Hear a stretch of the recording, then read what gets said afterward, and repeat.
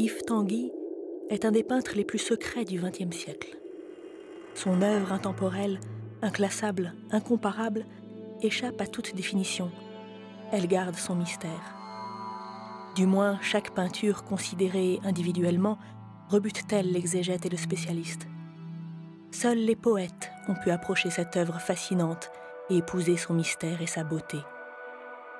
Benjamin Perret fut l'un d'eux.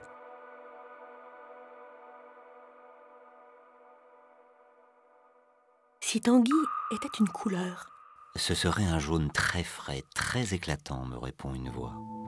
si c'était un animal, Ce serait un girafeau. si c'était un parfum, Ce serait une excellente eau de Cologne. si c'était une langue, Ce serait le danois. si c'était un fruit, Ce serait la prunelle. si c'était une invention, Ce serait celle de la brouette. si c'était une rue de Paris, ce serait la rue d'Amsterdam. Si c'était un oiseau? Ce serait le pivert. Si c'était une boisson? Ce serait le muscadet.